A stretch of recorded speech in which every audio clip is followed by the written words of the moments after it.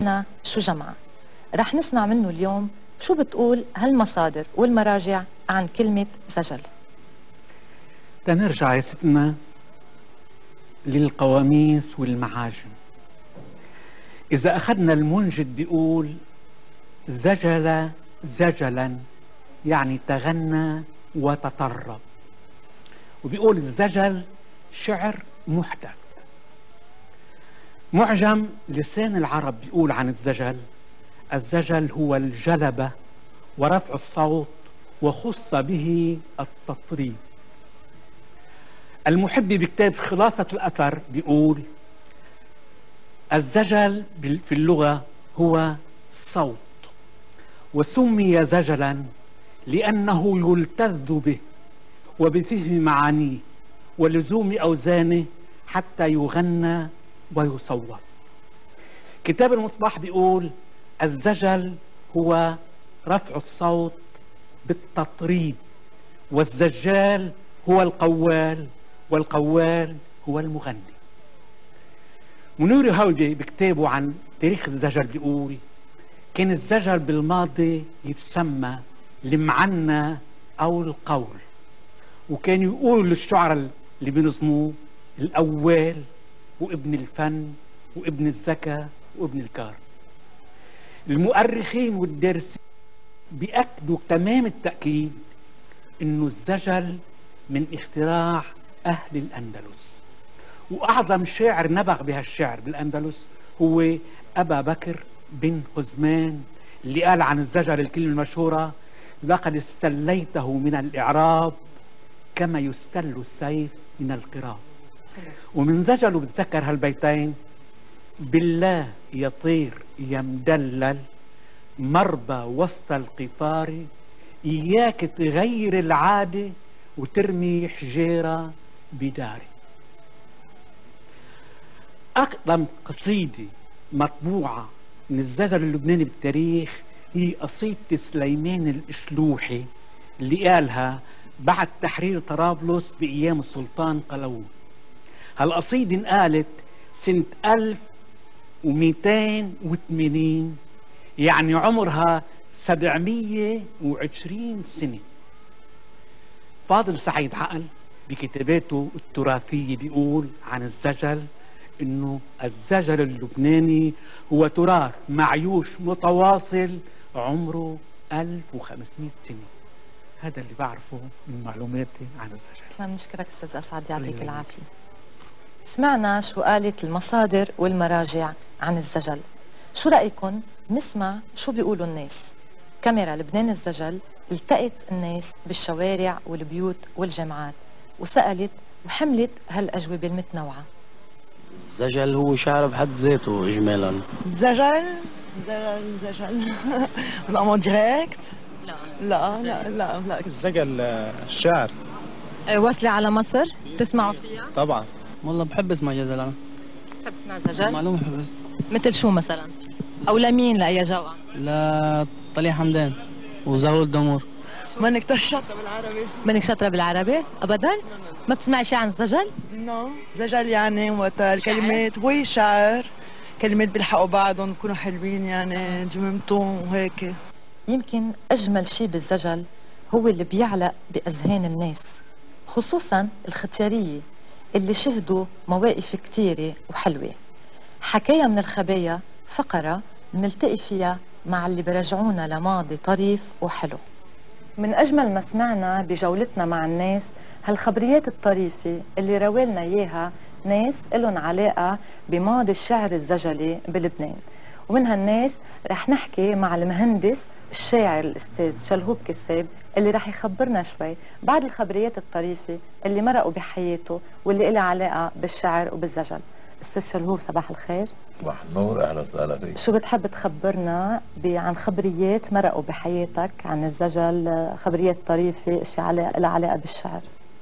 والله خبرية الزجل كثير كثير كثير متوفرة ونحن وعينا على فرقتين للزجل كانوا بيتنافسوا بهذيك الأيام. هن فرقة شحرور الوادي أو جوخة شحرور الوادي. وجوخة كان ألفها المرحوم وليم صعب مات من فترة الزجل اللبناني. أمير الزجل اللبناني. فكنا دائما نتابع هالأخبار ونفرح فيها. ومن الطريف إنه مرة آه، دعينا على مباراة بمدرسة أوليفر برأس المتن. وكان من إحدى الكؤوس آه، بيعطوه للي بيقول أحسن قصيدة زجلية بهالمناسبة.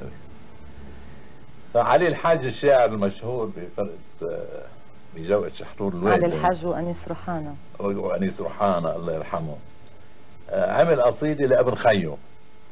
قال له خذ اقراها بالحفلة وبتجيب الكيس بدي اسكر فيه عشية. طلع ابن خيو أخذ القصيدة قراها بالإحتفاء. وغيره كمان ألقوا قصائد ثانية اللي ربحت الكيس قصيده لشاعر من قرية بالتبيات قرية صغيرة اسمه محمد رسلان. وهديك اسمه علي الحاج.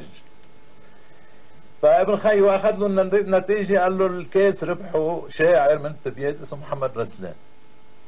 علي الحاج بحط إيده على راسه وقال له لابن خيو وقال له الحكم بالكيس الزاني بعيني. وما رجح بحكم العدل عيني. ما شفته.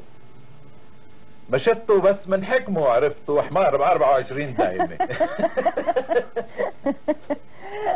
ابن خيو أخذ هالردة وكتبها وبعث له إياها لمحمد رسلان على التبييت إنه عمي قال عنك كذا. محمد رسلان بعث له جواب فورا. قال له اللي حكم بالكاس لجنة مغربلة. وقدرها من حكمها زاد وعلي. محمد نبي الفن. محمد نبي الفن لكن حضرتك رابع خليفه بعد منه يا علي. حلو حلو. فهون بيربط الشعر بالتاريخ وقديش لازم يكون الشاعر عنده ثقافة وعمق وخلفية تاريخية تيقدر ينتج شعر يكون فعلا على مستوى. نحن عم نلتقي الناس بالشوارع وبالبيوت وبالجامعات. تمنوا علينا إنه نسمعهم شيء من الجوقات القديمة. ووعدناهم ووعد الحر دين شو رايكم بأول حلقة من لبنان الزجل؟ نسمع أول جوقة زجل على أرض لبنان وهي جوقة شحرور الوادي. رح نرجع سوا لسنة 1950 ونسمع جزء من حوار بين الشاعرين علي الحاج وأنيس روحانا كم مرة بمرة بتندق كم مرة بمرة بتندق وما في مرة كنت تروق.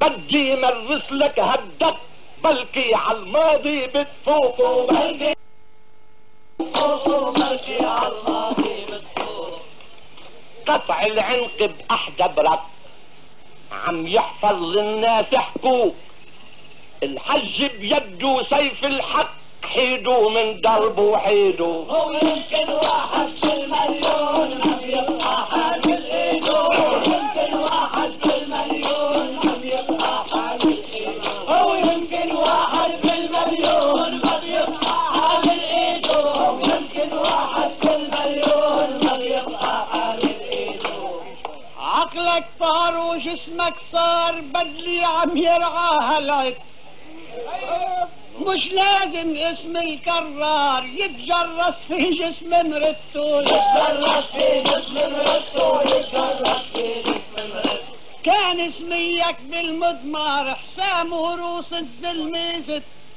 وحسامك في زر خيار ما بيعلم حديده يمكن واحد في المليون ما بيبقى حامل ايده يمكن واحد في المليون ما بيبقى حامل شروقي بتعني لي من لون من آه، من الزجل. سامع بالشروقي ما ما بعرف جزلنا سامعة بالشروقي لا دقيقة ما خلصت آه، أكيد لازم تكون سامع باللون من ألوان الزجل اللي هو الشروقي إيه أكيد. شو بتعرف عنه للشروقي؟ إيه هلا بعرف يعني شو بدي أقول لك؟ هلا أنا تقول لك إنه بفهم بالزجل مزبوط ما بعرفش. في الاستاذ أستاذ رفيق هون شو؟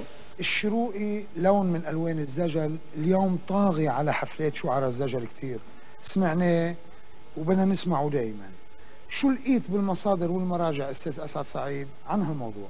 كتاب محسن الهزان اللي كتبه رشيد نخلي بالزجل اللبناني ببلش بهالشطرة. شاعر رباب من عادته ضيف الكرام. من هالشطرة فيها نكمش الخيط تبع الشروقي. الشروقي هو القصيد البداوي اللي بيغنيه شاعر الرباب. يمكن من هون له علاقة بكلمة الشرق شروقي؟ مش عارف بس إنه من هون بيكون. شو هالمصادر شو بتقول؟ ابن خلدون بيقول أهل المشرق يسمون هذا الشعر بالبدوي. المستشرق الفرنسي جان لوسيرف بيقول الشروقي هو نوع من القصيد. أحمد أبو سعد بيقول الشروقي هو القصيد البدوي اللي وصلنا من القبائل اللي نزحت من الشرق. لهالسبب في وزن بالشعر العربي نعم. هو ذاته وزن الشروقي. لا الشروق البدوي ما له علاقة بالوزن العربي. الوزن مستقل. الشروقي اللي عم نقوله اليوم. الشروق اللي عم نقوله اليوم هو من بحر البسيط. مثال منه من قصيدة معروف للشاعر يوسف حاتم بيقول وضحى الحزينة تنادي ربها يا معين. فرج همومي من الكربات وجليها بوها بفكره يزفها لابن ستين وبعدها صبية ولون الورد خاوية مستفعل فاعل مستفعل فاعل. الشروق البدوي كتب منه بس رشيد نخلة بمحاولته كتابة محسن الهزان بالشروق البداوي بس بعتقد إنه لقى صعوبة كبيرة يقدر يجمع مفردات تساع هالقصيدة الطويلة. سطرين رح نقول هون من الشعر البدوي من نص رشيد نخلة. بيقول يمير من فوق الطويلع بيومين. مربع وضيح الرحب لا تقول جنة. مسبع بعمدان الذهب طول رمحين والخز والديباج من تحت هن. وبيوصف له هن لام الطل ويا محسن الهزان وتشوف بالعين اخت القمر اللي تقول للعقل جنة. دباحة العينين من بين هدبين. لو سيروك السحر بتقول عم نتعبك يا أستاذ. أسعد دائما إنك عم تفتش بكل هالمراجع لتلاقي لنا دائما إشياء عن ألوان الزجر. ما فيش تراث إلا له جذور. بهمنا كمان الناس تفهم جذور الشروقي اللي هو تراث معيوش وراح يضل عايش. الزجل موجود بكل بيت لبناني ومع كل ختيار خبرية غريبة وطريفة. زرنا من ضيع لبنان حراجل عشقوط وادي شحرور والتقينا بناس بعدهم بيتذكروا مواقف كان الزجل فيها سلطان. بيقول طانوس عبده الصيفي وسقط سهوا اسم القصيفي والعالم كلهم بيعرفوا طانوس عبده كان شاعر وقطب من أقطاب جوقة شحرور الوادي. لمن سألوه ذات أيام بيقول فيها شاعر الإلهام لو بالفرض نام متضل روح وواعي طقر السلام. الشاعر حرام يموت بجروح الهوى وما بيسوى يصح بموت الغرام. هاي لطنس عبدو أنيس روحانا بيقول ببيت زجل ببيت عتابة كتير كتير مهم. بيقول في قولوا للغريب يزيل شك ولا يغر الفقير بكبر شك ولو كل شبر عنا صاروخ شك ومنبقى هون إلنا هالتراب. حلو هالبيت العتابة هاي لأنيس روحانا. مرة قال التقى الشحرور وكان بآخر أيامه بالقمطية عم يسأل إنه قال عزرايل عم بفتش عليه للشحرور لأنه قربت أيام وكان مريض. وعم يسأل صار يسأل بالقمطية أسعد مرق من هون مين شافه؟ هاي قصايد طويلة. عفوا. في صبية بتضيف فنجان قهوة. فركشت بخيط بالسجادة كبت فنجان القهوة على صدر الضيف. تفاجأت بيا قال له بسيطة شلح القميص من غسلها؟ ناول القميص للصبية وقال لها بدها غسل ونشر وكي ومش لازم لك توصاي توقي فوق القلب شوي لتشدي على المكواية بجلسة قديمة كتير يمكن حوالي شي 30 سنة مع الشاعر الكبير أبو ربيع موسى زغايب صديقنا وحبيبنا. عم بيقول قصيدة ونحن كلنا ساكتين وما حدا عم بيقدر يجاوبه لأنه فيش منا كان شاعر بحجمه ليقدر يجاوبه. قال قصيدة 30 40 بيت بالآخر حسيت أنه مش هيخلي حيطان بهالبلاد بده يكعكرهم كلهم يعني.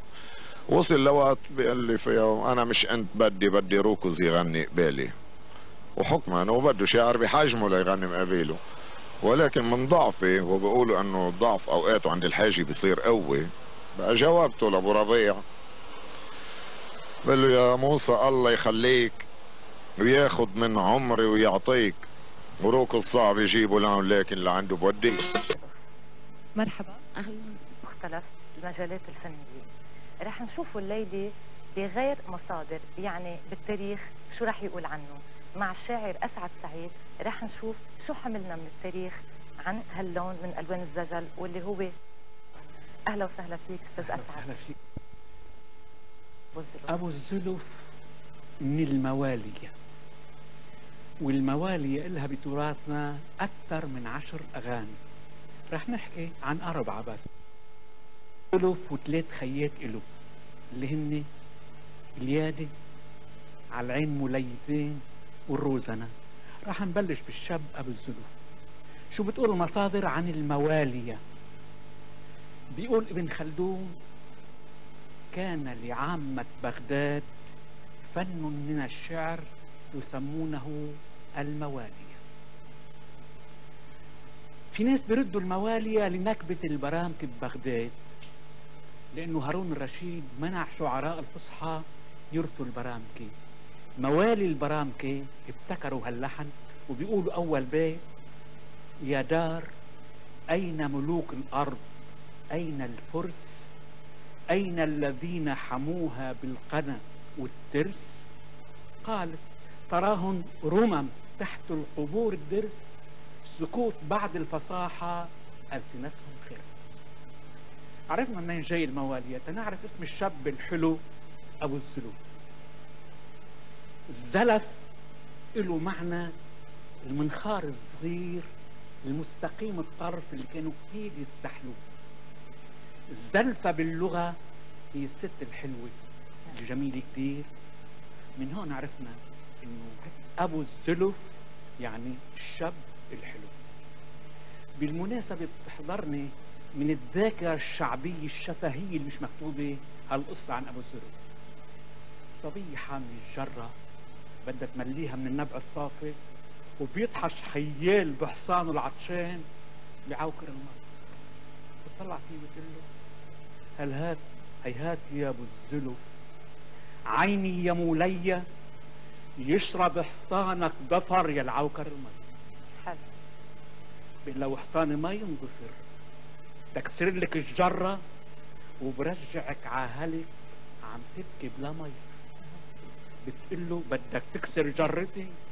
إن شاء الله يموت حصانك وترجع على ديرتك ماشي بهالبرية. بيقول لها قبل ما حصاني يموت إن شاء الله يموت جوازك تصغير جوزك. وتعيش بديرة هلك أرملة منسية له قبل ما يموت جوازي إن شاء الله تموت مراتك وتقضي طول العمر تبرم حواليك هاي الخبرية عن أبو الزلوف. وإلنا طلة تانية بإخوات أبو الزلوف بحلقات تانية إن شاء الله. أكيد ما كل بد أستاذ أسعد أنا بدي أشكرك كثير الحقيقة بدي هنيك على الذاكره طيبة ما شاء الله يعني. عم نتعبك معنا بهالفقرة. تعب جميل مع الشيء اللي بتحبه. وهاللون أنا بحبه وعايش فيه. الله يخليك أستاذ أسعد وأهلا وسهلا فيك بلبنان الزجل شكرا. كاميرا لبنان الزجل التقت بناس بعدهم بيتذكروا مواقف طريفة ترسم البسمة على القلوب والشفاف. مشاهدينا نحن هلأ ببيت الشاعر تانيوس رزق العشقوطي اللي حبينا نسمع منه خبريات صارت معه بالماضي وخاصة عن الزجل تانيوس رزق العشقوطي عنده صولات وجولات بعالم الزجل والشعر بالإذاعات والتلفزيونات وخاصة مع الجوقات وكمان بالكتب لأنه هو مؤلف العديد من الكتب. أستاذ تانيوس رزق العشقوطي أهلا وسهلا فيك بتلفزيون لبنان وببرنامج لبنان الزجل. أهلا وسهلا فيكم جميعا. واللي بتذكره أنا بحفلة زجل بجوقة زغلول الدمور. التقيت بالشاعر زين شعيب. من بعد طول غياب قلت له يا زين العشقوطي عليك اشتاق وملقاك محيي. اشتقت عليك ومن عينيك عرفتك مشتاق علي. ومرة قمت بزيارة للشاعر موسى صغير. ومن بعد ما دقيت على الباب وما حدا جاوب كتبت له هالبيت. لما باب بيتك دقيت وبعد الدقة ما رديت. كتبت لك بيت من الشعر وعلقته على باب البيت. حلو كتير. طبعا مثل ما بنعرف آه، لأنه جولاتك عديدة وكتيرة طبعا عندك بعد خبريات تانية تخبرنا إياها. شو بتتذكر وشو عالق بذاكرتك غير هالخبريات؟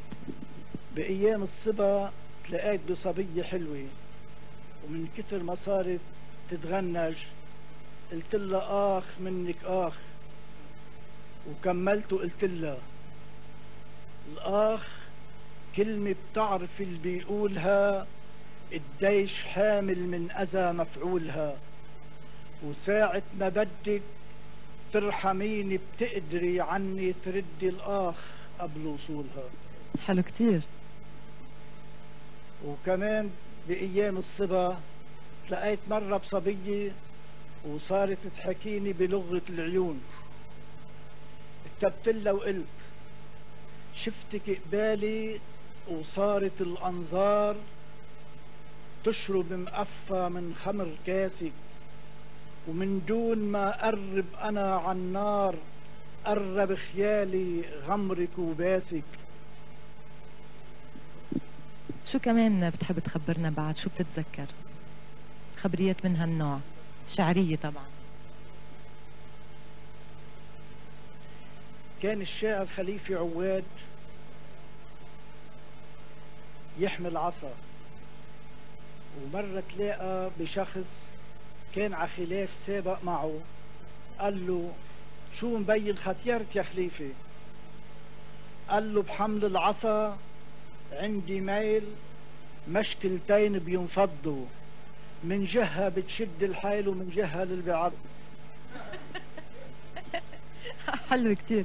شو في بعد هيك طرائف مثل مثل هالخبرية اللي خبرتنا إياها؟